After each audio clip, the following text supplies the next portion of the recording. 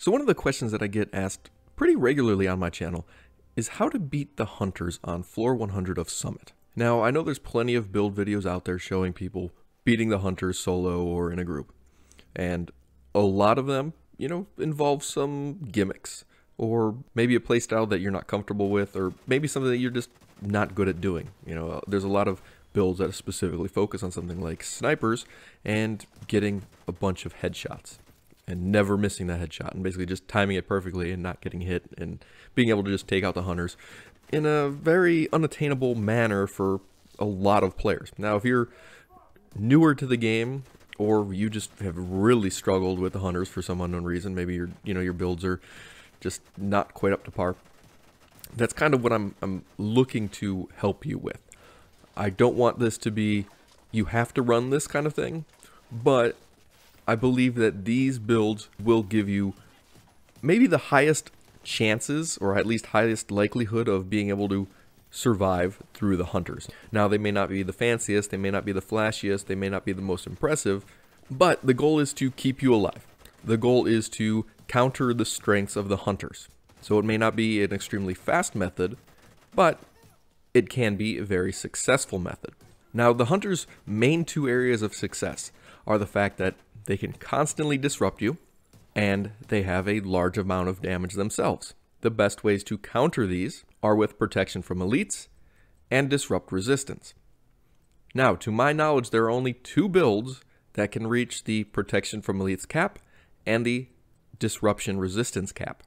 I will be showing you both of these. And then I'll be showing you a third one that's probably just a better all around build, even if it doesn't quite reach one of the caps. Now, one of the important things to talk about is just the shade watch. If you don't have, you know, a maxed out shade watch, obviously you are hurting yourself. I know not everyone has the time, and if you are still playing the game, odds are that you're probably fairly new and you haven't reached it yet. For a lot of builds, you are going to need a maxed out watch just because, you know, people rely on it now for having the max crit chance, max, you know, crit damage, max headshot damage, all that stuff. The first build I'm going to show you doesn't need the watch, but obviously would still be a great thing to have if, you know, you can get it. Now, the reason we're not going to need it is because we're going to be able to reach max uh, disrupt resistance just on our gear alone. Now, I am going to be cringing while I say this because, look, I- have told you guys on the channel numerous times I do not like three pieces. There's some that can be okay, but generally there's some sort of gimmick involved. And the gimmick with this one, at least why it's okay now, is because I'm trying to only deal with hunters. That's the sole purpose of this build, and that's all it's designed for. So the thing that you probably need to know is that System Corruption is a DZ exclusive set. And of course, that turns off a lot of people instantly. Honestly, the DZ is not as difficult to extract from as many people think.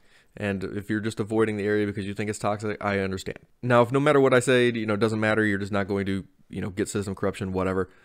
Oh, don't worry, there are still some other ideas that I've got for you that you can basically get this exact same setup, but this is the first thing that I want to cover. So the system corruption obviously gives me 40% disrupt resistance. Now, if I have 10% hazard protection on all of my rolls, that will give me 60% hazard protection, and then the 40% disrupt resistance will end up giving me 100% disrupt resistance. Now, when I combine it with the chill out mask and two improvised pieces, I do get a total of six mod slots. Now, with those six mod slots, I can use that to fill up my protection from elites. Now, at five mod slots, I will end up having 60% protection from elites. I throw on another one, and if it's 12%, I'll have 72%. When I combine that with the 10% from the survivalist specialization, I'm going to end up getting the max cap of 80%. Now, if you had 13% protection from elite mods, you would actually be at 77. Now, if that was the case, you probably don't need survivalist specialization anymore. Just, you know, only getting out 3% more. I wouldn't really say it's worth it. I'd and to be honest, you know, again, this is going to be kind of up to you. If you don't want the 80%, the 80% is not that important to you. Um, you'd rather have the Artificer Hive with the Technician Specialization and the additional skill tier. I fully understand. That would be a great idea as well.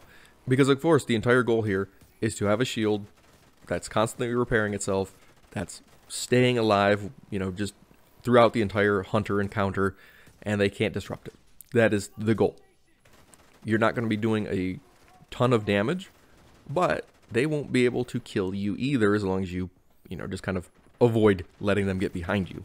Now, what I do recommend is any additional rolls that you have, I would suggest rolling it in uh, armor regeneration, just because, I mean, the three rolls of some sort of crit aren't going to do really anything for you.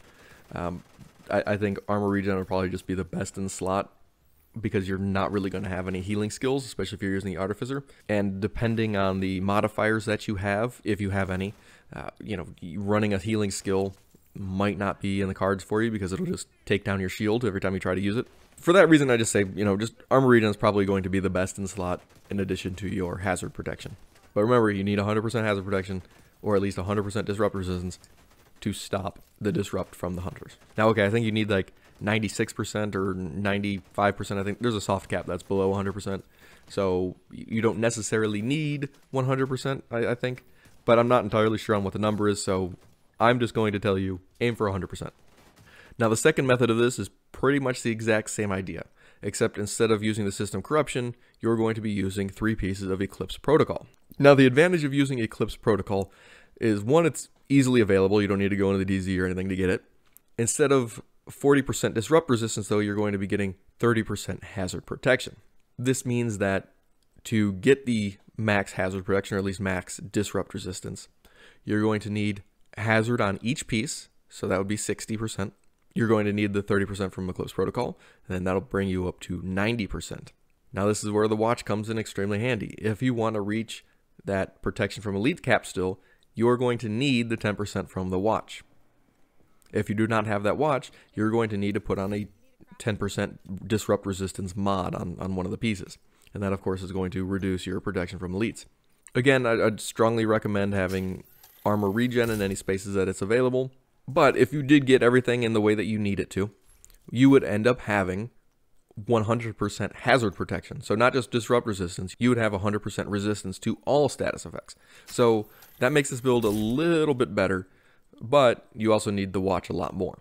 And if you have everything rolled perfectly, you still can get to that 80% protection from elites cap. Now again, if you wanted to go with the technician and the artificer, and lose 10% protection from elites, which may be totally worth it for you.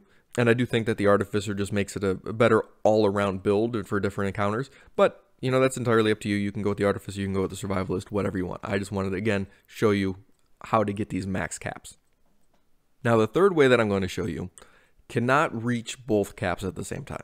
You can get 80% protection from leads, or you can get 100% disrupt resistance. That's entirely up to you, whichever one you want to choose. This is because if you get, let's say, all six hazard protection rolls, you get 60%. You get 10% from the watch, you're at 70. Well, while the first gear set had 40% uh, disrupt resistance, the second one had 30% hazard protection, you can only get 20% hazard protection from the brand sets here. So that's 10% from Ceska and 10% from Yaahl. Now that will give you 90% hazard protection. So to get the 100% disrupt resistance, you're going to need a 10% disrupt resistance mod. This of course will remove some of your protection from elites. But overall, unlike the other two builds, you can get a lot more diversity out of this build than you could the other ones. The other ones are entirely dedicated to hazard protection, disrupt resistance, and protection from elites. This build can allow you to add more rolls because obviously, you know, the gear sets only have two slots, whereas the high ends have three. So that makes it a little bit easier to get some extra, you know, buffs on your build. You can add extra regen, you can add extra crit chance, you can add talents, and that, that's obviously one of the biggest advantages, the fact that you actually get your talents back. So you're losing a little bit, but you are getting those talents. Now, personally, if I was going with this kind of build, which I'm still putting together, uh, the the one negative of this build is that it really does take a long time to put together. Um, it, it, really depends on the luck of the rolls. Now you could change out your Yaahl gear for a another improvised piece. You are just going to have to use a uh, another disrupt resistance mod in there, and you'll still get the the hundred percent. So in case you really really didn't want to go into the DZ to even get one piece, you could still do it with an improvised piece. Now the reason I say this is kind of difficult, right? Getting the improvised pieces can be annoying, but once you get them, I mean, you can use them for a lot of different things. And you don't really need to worry about anything specifically. If, if I was just, let's say I was rolling these improvised pieces, I know I need to have shield health. Well, if I want you know, I, I can basically get that with either armor or skill tier. So if I get a yellow or a blue, it doesn't really matter so much. Um, that'll work. I just need to have, you know, something close to max with hazard protection or armor regen.